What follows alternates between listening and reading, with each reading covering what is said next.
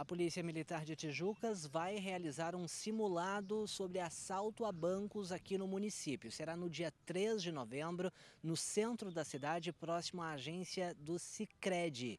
Não haverá o uso de armamento real, mas algumas explosões poderão ser ouvidas no entorno. Eu conversei com o comandante da Polícia Militar de Tijucas, o capitão Rômulo, que detalhou como será essa ação. É, hoje a Polícia Militar está realizando o curso de ações táticas especiais. É um curso operacional voltado a ocorrências de um nível de risco elevado.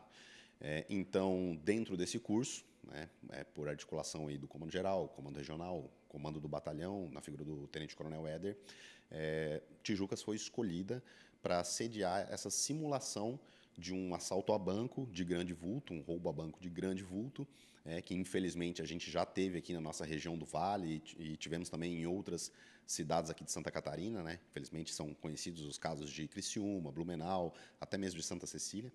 É, e aí dentro desse curso é, foi escolhido Tijucas para sediar essa simulação que vai ocorrer aqui.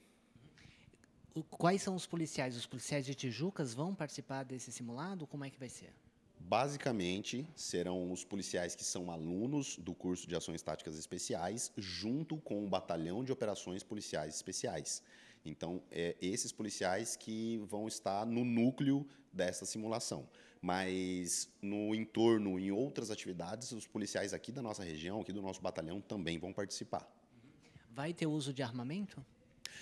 Toda situação é simulada, é um treinamento.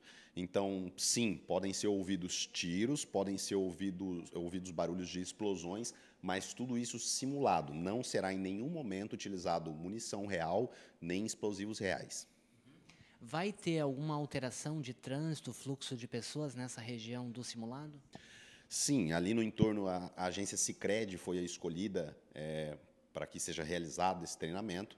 Então, no entorno da agência Sicredi, no centro aqui de Tijucas, a gente vai, vamos interditar as vias, então vai ocorrer algum transtorno ali na redondeza e, como eu disse, né, pode ser que sejam né, os, os moradores ali escutem alguns barulhos ali fora do comum.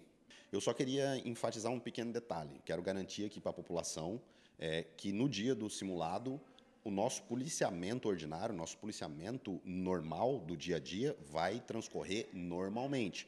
Nós não vamos destacar policiais do trabalho normal para participar do simulado. Serão todos policiais, como eu disse, do Batalhão de Operações Policiais Especiais, do curso de Ações Táticas Especiais e policiais que vão trabalhar em hora extra, em atividade extra, para poder participar do simulado. O nosso policiamento normal vai transcorrer tranquilamente.